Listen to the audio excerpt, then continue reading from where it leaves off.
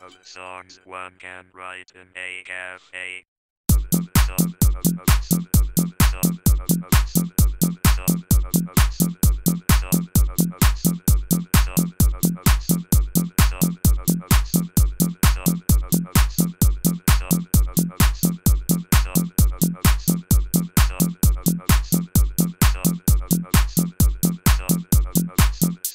one can write in